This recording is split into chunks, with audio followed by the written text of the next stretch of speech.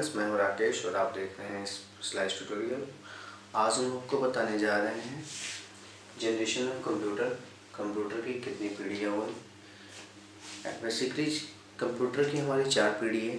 सबसे पहले उन्नीस सौ चालीस, उन्नीस सौ छप्पन तक ये प्रथम पीढ़ी कही गई उसके बाद उन्नीस सौ छप्पन से उन्नीस सौ तिरसठ तक जिसको द्वितीय पीढ़ी कही गई। उन्नीस सौ चौंसठ से उन्नीस सौ इकहत्तर से इसको थर्ड जनरेशन कहा गया। और उन्नीस सौ इकहत्तर से जो अभी तक जो चल रहा है, इसको हम लोग फोर्थ जनरेशन यानी चतुर्थ श्रेणी कहते हैं। और जो फिफ्थ जनरेशन है, वो अभी अपकमिंग फ्यूचर है। हमारे जितने भी अलग अलग वर्षों में ये डिवाइड किया गया है, वो उसके टेक्नोलॉजी के हिसाब से डिवाइड किया गया है। क्योंकि अलग अलग टाइम पीरियड में टाइम स्लॉट में अलग अलग टेक्नोलॉजी का यूज़ हुआ है। तो अब हम देखते हैं कि कौन सी टेक्नोलॉजी यूज़ हुई है। सबसे पहले हम डालते हैं नज़र फ़र्स्ट जनरेशन पे। फ़र्स्ट जनरेशन पे आप देखेंगे तो सबसे पहले हमारा वैक्यूम ट्यूब टेक्नोलॉजी यूज़ हुई है, जो कि मैं स्टोरेज डिवाइस उसका रहा है मैग्नेटिक कोर मैग्नेटिक ड्रम हमारा, ये एक ऐसा स्टोरेज डिवाइस होता था जिसमें कि मैग्नेटिक ऑक्साइड का उसमें क्लैडिंग की जाती थी, जिसके थ्रू डाटा को स्टोर किया जाता था. वैक्यूम ट्यूब हमारी टेक्नोलॉजी थी, जो कि उस समय हमारी यूज़ की जाती थी कंप्यूटर को चलाने के लिए. इसकी जो गति थी स्पीड थी, इसकी three three three microsecond एक माइक्रो सेकेंड का मतलब होता है ten to the power minus six मतलब कि आपका दस लाख एक सेकेंड में point one second equal to one second equal to दस लाख सेकेंड दस लाख सेकेंड वो माइक्रो सेकेंड उसका वो होता था। मतलब आप जो गणनाएँ करता था, वो सेकेंड का दस लाखवा हिस्सा वो करता था, इसकी स्पीड जो थी। मतलब ten to the power minus six, ये हमारा माइक्रो सेकेंड होता था। एक सेकेंड में ten to the power minus six, ये हमारा माइक्रो सेकेंड मेजर करने के लिए हमने पैमाना बनाया हुआ है, या जो जो दिया हुआ है। अब हम बताते हैं, चलिए फिर शुरू करते हैं।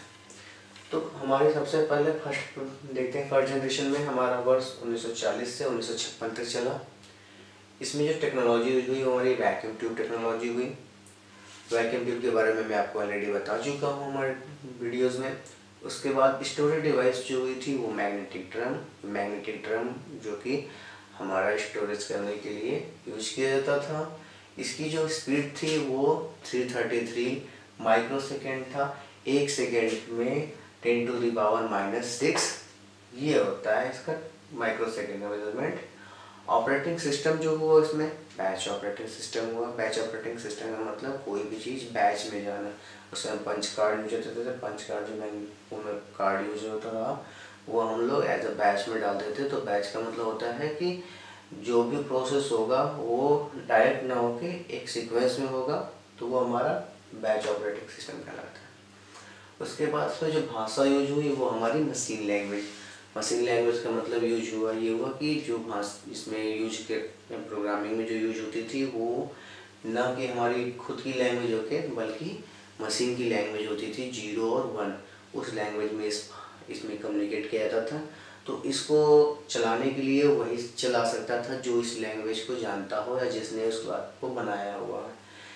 इस जो पीढ़ी में या इस जनरेशन में जो कंप्यूटर बने थे, वो कंप्यूटर पे जो लैंग्वेज जिस कंप्यूटर पे जो लैंग्वेज डेवलप किया जाता था, वो केवल उसी सिस्टम में चलता था, वो किसी और सिस्टम पे काम नहीं करता था। दूसरी चीज़, ये लिमिटेड स्टोरेज कैपेसिटी थी मतलब कि इस पर डेटा जो स्टोर होता था, वो एक लिमिटेड स्टोरेज पे ही होता था, और ज़्यादा डेटा स्टोर नहीं हो सकता था। डेटा स्टोरेज या फिर मशीन की जो कोडिंग है, वो डेटा इनपुट है, बहुत स्लो होता था। डेटा आउटपुट की स्पीड बहुत स्लो थी। लेकिन इसमें कंप्यूटर की जो स्पीड थी, वो बहुत फास्ट थी। फास्ट होने की सबसे बड़ी वजह ये होती है कि हमारी जो कम्युनिकेशन होती है, वो कंप्यूटर की लैंग्वेज में हो रही है बाइनरी लैंग्वेज में। जब आप मशीन लैंग्वेज से मशीन लैंग्वेज में बात करेंगे तो वो जो रिस्पॉन्स होगा, वो फास्ट होगा, क्योंकि उसमें कोई ऐसा असेंबलर या इंटरप्रेटर नहीं है जो कि इसको कन्वर्ट करे और टाइम ले तो इसकी स्पीड तो फास्ट थी बट ये जो स्पीड इनपुट और आउटपुट की थी, वो स्लो थी। इसका बेसिकली उपयोग हमारा साइंटिफिकली हुआ था। इसमें जो कंप्यूटर्स जो उस समय जो ज़्यादा यूज़ हुए थे, जो हाईलाइटेड था, वो एनिएक यूनिवेक और मार्क वन था। ये जितने भी कंप्यूटर थे, ये सब हमारे कौन सी टेक्नोलॉजी पे यूज़ थे? वैक्यूम ट्यूब पे। ओके अब हम बात करते हैं सेकेंड पीढ़ी के। सेकेंड पीढ़ी का जो हमारा कंप्यूटर था, वो उन्नीस सौ छप्पन से लेके उन्नीस तक बना था। टेक्नोलॉजी का इसमें चेंज आया। टेक्नोलॉजी में क्या यूज़ होने लगा? ट्रांजिस्टर। ट्रांजिस्टर हमारा, आप देखेंगे दो टाइप के ट्रांजिस्टर होते हैं P N P N P N मैं आपको हार्डवेयर सेक्शन में पढ़ा पढ़ाऊँगा आपको कि N P N P N P transistor क्या होते हैं।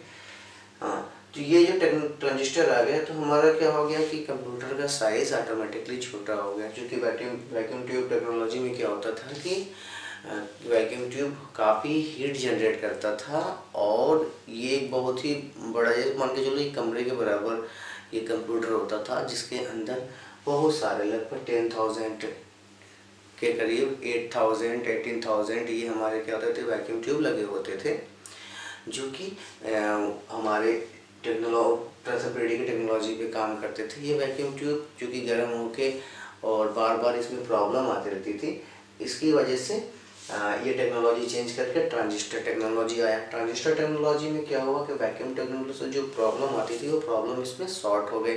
साइज़ जो बहुत बड़ा था, वो साइज़ अचानक छोटा हो गया क्योंकि इसमें हमारा ट्रांजिस्टर जो लगा। जहाँ तक स्टोरेज कैपेसिटी की बात है तो ये मैग्नेटिक टर्म से ये मैग्नेटिक कोर में आ गया। मैग्नेटिक कोर एक्चुअली हमारा कह सकते हैं कि एक हमारी टेक्नोलॉजी एक हमारा डिवाइस था जो कि मैग्नेटिक पे काम करता था, वो स्टोरेज लाइक का सी टाइप होता था। उसी में ये स्टोर होता था, जो आज भी हमारा मैग्नेटिक कोर पे ही लगभग थर्ड जनरेशन तक स्टार्ट हुआ। अब तो सेमी कंडक्टर मेमोरी रैम हम आ गए उन पर सब होने लगे। लेकिन फ़िलहाल अब हम आप बात कर रहे हैं कि सेकेंडरी सेकेंड पीढ़ी में सेकेंड पीढ़ी में हमारा मैग्नेटिक को टेक्नोलॉजी था। इसकी जो स्पीड थी वो टेन माइक्रो सेकेंड थी। हमने बता दिया है कि वन सेकेंड में ten to the power minus six microsecond होते हैं।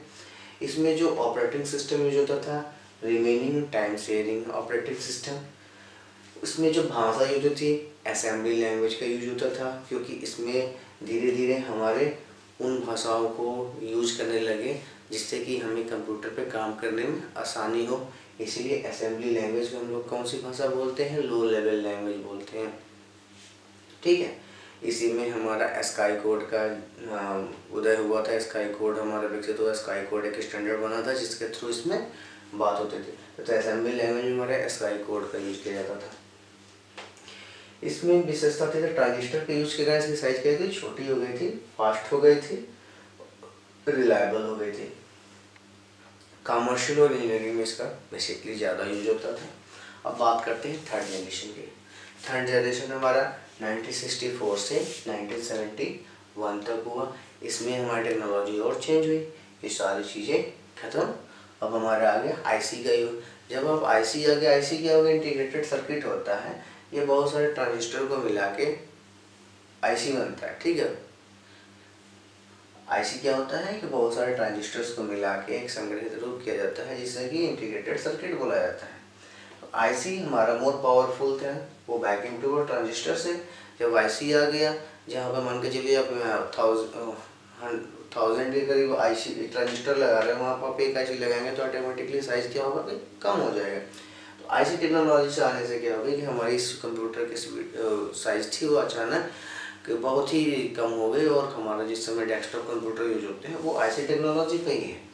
मैग्नेटिक और इसमें भी हमारा यूज़ होता है स्टोरेज में और इसमें नैनो सेकेंड स्पीड फास्ट हो गई नैनो सेकेंड टेक्नोलॉजी आ गई। एक नैनो सेकेंड में होता है ten to the power minus nine ten to the power nine जो होता है, वो हमारा one nano second equal to होता है। One second equal to ten to the power nine याद रखिएगा, ये बहुत ज़रूरी होता है करोड़वा भाग होता है, ठीक है? उसके बाद हम इसमें ऑपरेटिंग सिस्टम बताते हैं। इसमें operating system real time sharing operating system use होने लगा। भाषा इसमें थी फॉर्ट्रेन और कोबोल्स फॉर्ट्रेन होता है फार्मूला ट्रांसलेटर भाषा कोबोल होता है common object business oriented language ये हमारे बिज़नेस रिलेटेड लैंग्वेज थी।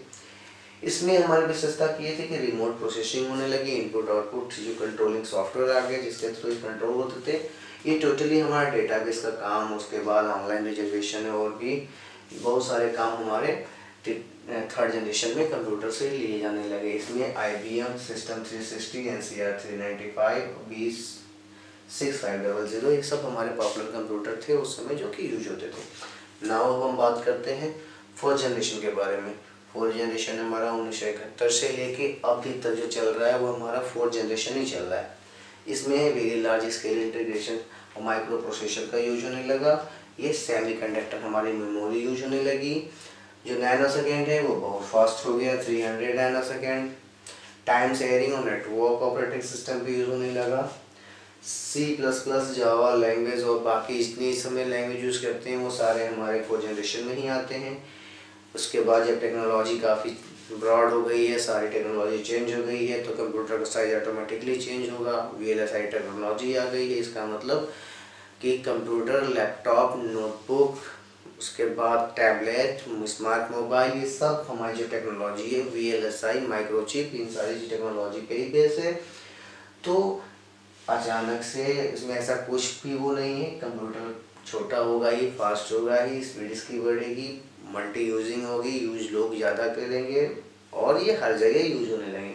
तो electronic fund transfer is the very easy thing और ऐसा कुछ नहीं है प्रोडक्शन पर्सनल इसमें सबसे पहले जो कंप्यूटर आया था हमारे फोर जनरेशन में, वो आईबीएम का आया था P C X T Apple का आया था Intel four zero zero four okay अब तो हमारे सारे, बहुत सारे कंप्यूटर्स हैं, बहुत सारी कंपनियाँ हैं, लेकिन ये जो स्टार्टिंग कंपनी थी, जो उस समय की फ़ेमस कंपनी जो लॉन्च हुई थी। नाउ हम फिफ्थ जनरेशन की बात करते हैं, जो कि फ्यूचर को लेके है, अभी ऐसा कुछ नहीं है इंटेलिजेंस पे काम हो रहा है नॉलेज प्रोसेसिंग इंफॉर्मेशन सिस्टम इसमें यूज़ हो रही है।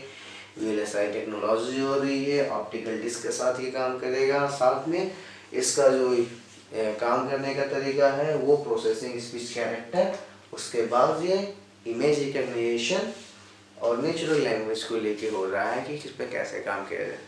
टोटली अभी हम आपने बताया कि रिलेशन ऑफ़ कंप्यूटर के बारे में तो आपको सारी चीज़ें हमने एक टेबल के रूप में दे रखी है, जिससे कि आपको पढ़ने में और याद रखने में आसानी होगी।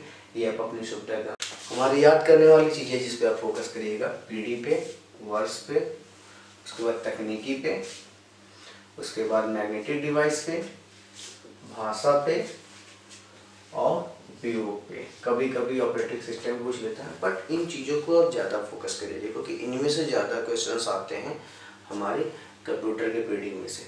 ओके तो आज का आपको सेक्शन कैसा लगा? हमें अपनी प्रतिक्रिया बताइए। Thank you so much